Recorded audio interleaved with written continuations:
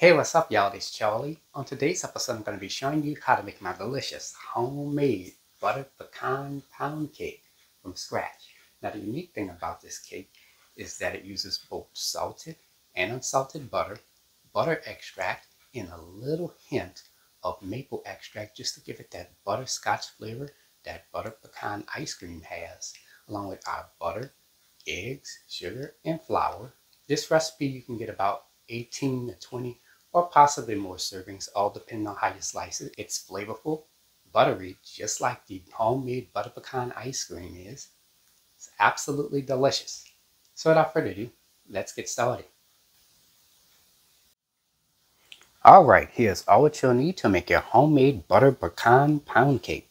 Let's get started with our ingredients. You'll need some all-purpose flour or cake flour, sugar, salt, baking powder, unsalted butter and salted butter at room temperature. You can use either or, but I'm going to use both. Of course, this is a butter pecan pound cake.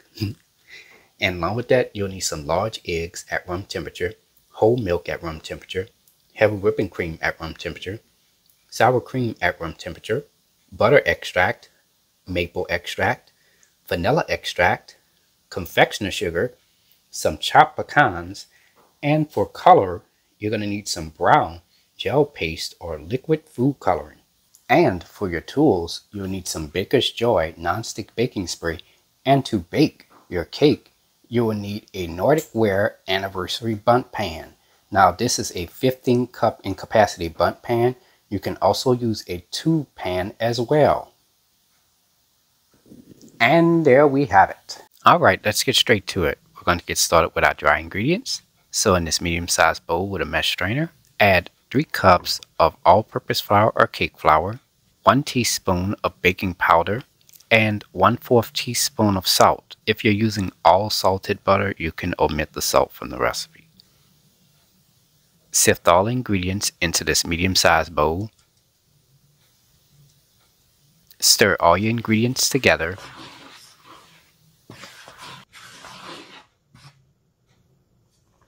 For our wet ingredients, in a separate medium-sized bowl, if you're using all-purpose flour, add 1 3rd cup of whole milk at room temperature, a half a cup of heavy whipping cream at room temperature, and a half a cup of sour cream at room temperature. If you're using cake flour, add a half a cup of whole milk at room temperature, 2 3rd cup of heavy whipping cream at room temperature, and 2 3rd cup of sour cream at room temperature, 3 teaspoons of butter extract, 2 teaspoons of vanilla extract, 1 fourth or half a teaspoon of maple extract. That's going to give it that nice butterscotch flavor that butter pecan ice cream has. Here I have a toothpick. I dipped it into the brown gel paste food coloring. I'm just going to swirl that into the liquid. Stir all your ingredients together with a whisk until combined. Alright, now I'm going to go ahead and preheat my oven to 400 degrees. Okay, let's get started with roasting our pecans. Here I have an 8 by 8 inch baking pan. Add 1 and 1 third cups of chopped pecans right on in there. Shake the pan to make the pecans even. And from there, the pecans are ready to be roasted in the oven. Place this into a preheated 400 degree oven on the middle rack. Roast this for 7 minutes. It's been about 7 minutes now. Let's remove our pecans from the oven.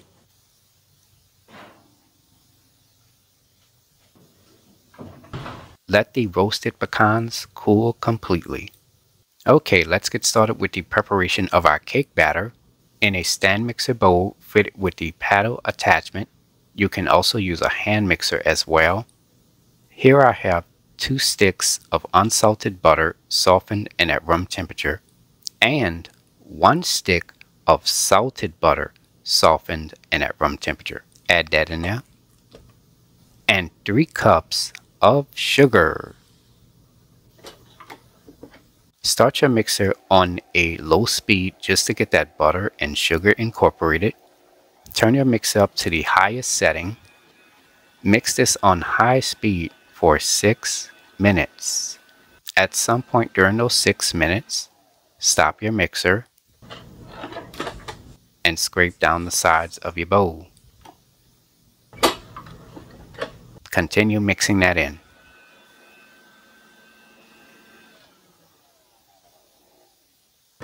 Alright, scrape down the sides of your bowl. Start your mixer on a medium speed. Add 5 large eggs in at room temperature, one at a time.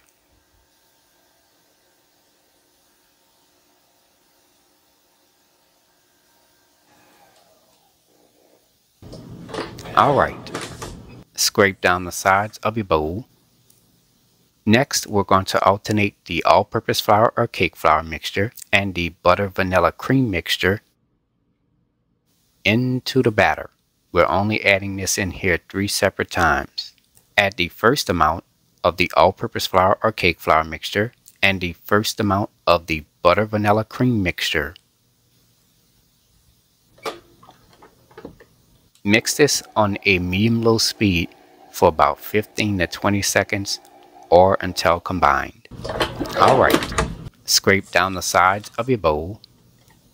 Add the second amount of the all-purpose flour or cake flour mixture and the second amount of the butter vanilla cream mixture. Mix this on a medium-low speed for about 15 to 20 seconds or until combined. Alright, scrape down the sides of your bowl. Add the third amount of the all-purpose flour or cake flour mixture and the third amount of the butter vanilla cream mixture. Mix this on a medium-low speed for about 15 to 20 seconds or until combined. Alright, scrape down the sides of your bowl.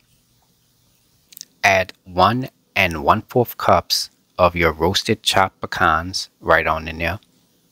Take a spatula and fold the pecans into the batter. Make sure you do this really well. Scrape down the sides of your bowl and the cake batter is ready. You will have a small amount of the roasted pecans left over, about 2 tablespoons of it. Set that on the side because we're going to add that into the icing later. Spray your Bundt or tube pan with the Baker's Joy non-stick baking spray. Alright, now I'm going to go ahead and preheat my oven to 325 degrees. Add your prepared cake batter into your Bundt or tube pan.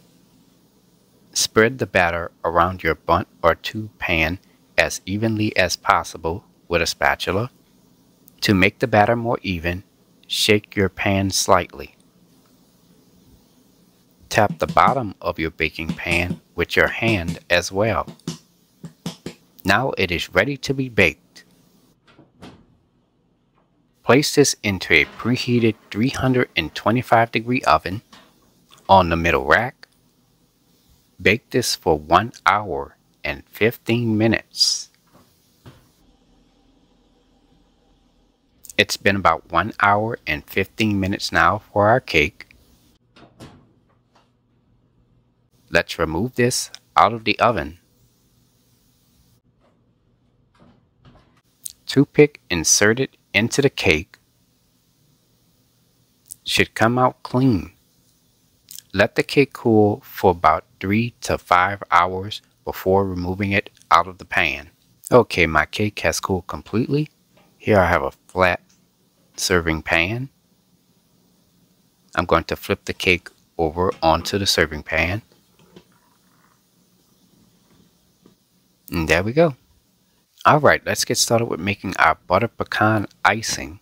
So in this medium-sized bowl, add 1 and 1 4 cups of confectioner sugar, 2 tablespoons of melted unsalted butter, 1 tablespoon of melted salted butter, 4 tablespoons of warm whole milk, a half a teaspoon of butter extract, 1 4 teaspoon of vanilla extract, 1 8th of a teaspoon of maple extract, and I have a small amount of the brown gel paste food coloring on a toothpick, just a tiny bit. I'm going to swirl that into the liquid. Stir all your ingredients together with a whisk until the mixture is creamy and smooth with no visible lumps. Add 2 tablespoons of the roasted chopped pecans. Give this a quick stir. And our icing is ready. Pour your butter pecan icing on top of your cake.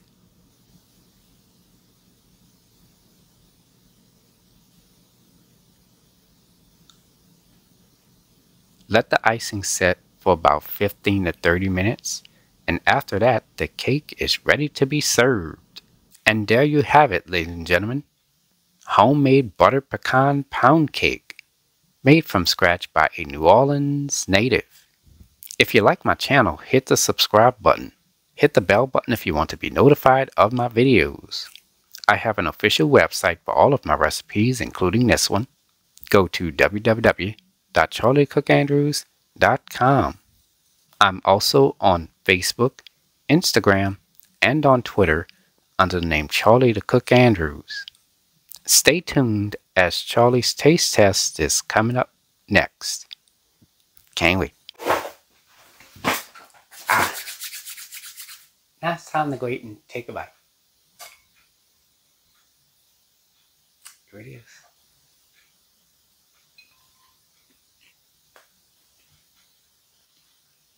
Oh yeah.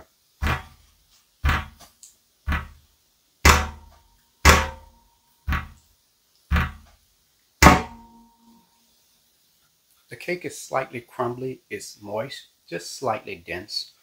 Um, now, the question is, does it taste like butter pecan ice cream? When it comes down to, to cakes, like especially like regular cakes, not like cheesecakes or anything like that, um, it's a little bit difficult to get it to, to taste exactly like the ice cream. But overall, it does have a very slight buttered pecan flavor. It's really good. So all you gotta do is try the recipe. Anyways, I hope you all enjoyed the video. Thank you so much for watching. And until next time, have a good one. Peace.